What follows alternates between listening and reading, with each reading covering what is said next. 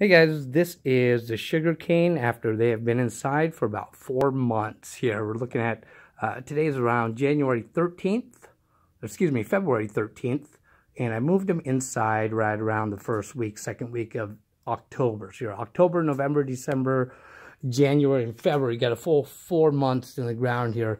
Um, I'm going to show you how they are growing or not growing. Like this plant's probably pretty much has done the best but we haven't seen much additional growth out of them. Uh, they've just been kind of maintaining, and the smaller stalks have been dying off. Uh, I've been doing a little bit of pruning on them, um, but they look like they may be able to last me uh, another month until I start to uh, replant them. So we'll be looking at middle of March, and I want to try to give these guys a good seven month growing time. Um, and then with seven months March, seven months out from there, we're looking at October. And then that October time, uh, hopefully I can get a good three months, excuse me, seven months out there. Um, but they're still maintaining. You can see a lot of them have died off from the bases. Some of these even smaller ones are pretty much all dead. Uh, you can see like this one right in the middle. I can pull that out right now. Um, and as you can see, I've actually trimmed quite a bit away uh, and kind of thinned out those smaller ones that they have died off. But you can see the, the little eyes on these guys, uh, on a lot of them here. Still seem pretty viable, so I should be able to cut these into little pieces uh, and then get a different plant from each one of these eyes and then hopefully grow some from the existing um, root ball that's down there.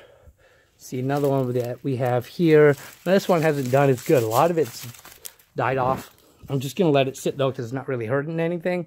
Um, and none of these are really any of the bigger ones.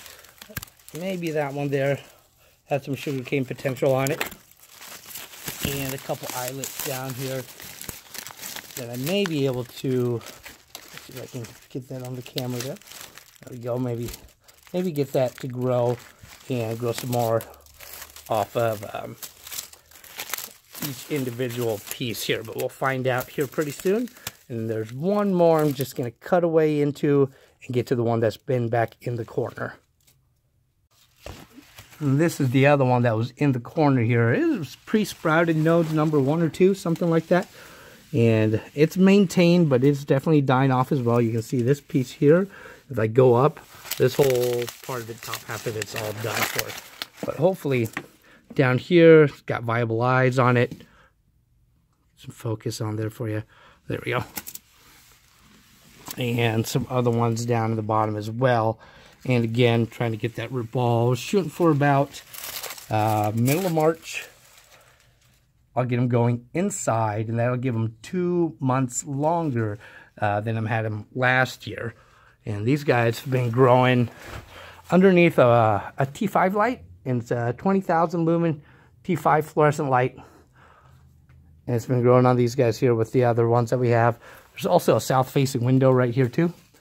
So it gets uh, some natural light to it, as long with, uh, with some supplemental light. And these were half of the plants.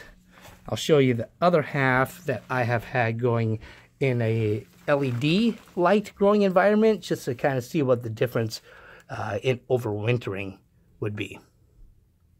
And just a quick shot of what it looks like outside right now. There's snow, it's cold, it's Lincoln, Nebraska uh, in the middle of winter time. So considering they're not doing too bad for being indoors. Now these are the plants that have been growing underneath a 1500 watt LED light. I'm going to point it up there real quick. I probably won't be able to see it very good because of the lighting on there, but you can see it's up there. It's a 1500 watt and I've had four plants in here. Um, one over here, pretty much all toast. You can see I've cut it down, cut it down. Uh, all through here, you feel up, it's pretty much dead right through there. And this one as well, there's really nothing going on right there. As a matter of fact, I'll probably just cut it. And you can see there's nothing going on in there. Um, but what I'm hoping for is these nodes here, the little eyelets on these guys. I don't know how well you can see them uh, one there, one there, a couple on the other side. Hopefully I can get these to uh, sprout in the spring and actually get some more um, nodes coming down all the way from the bottom from the root ball as well. Uh, here in about a month again, uh, I'll get that taken care of, see if I can get them to sprout. Got another one going over here. It's really the same idea. I apologize for the light. It's kind of tricky on the eyes. Um, but you can see some nodes here. This plant is pretty much uh, toast as well. A little bit green left to it. It's not totally dead, um, but it is on its way out. This one that's done better. Um, probably remember it from earlier ones here. This is the one that had the three mature stalks on it. Again, hoping for the eyes uh, to produce some in the spring. And uh, you can see up to the top kind of how I've trimmed them. Uh, as the leaves die off here, I kind of cut them in half. These top parts uh, were pretty much just dead. So I just gone ahead and cut those off. And then we got the last one here. And you can see how this one's been doing. The eyes on this look really good down at the bottom though. So a lot of potential for that. You'll see it right down there. Another one on the other side. And hopefully I can get those to grow in the spring. Um, this plant's doing okay. Um, if I peel off some of these parts here, you'll see it actually has more sugar cane that has developed since it's been inside. So this plant's doing healthy. Just wish it was uh, a little bit better. Uh, up till about a month ago, it was growing pretty well. You can still see the foliage there reaching up all the way to the to the top of the little greenhouse I got going on. Same thing with all these plants, but about oh, about two or three weeks ago, it started really showing stress levels on it. Started cutting back the plants.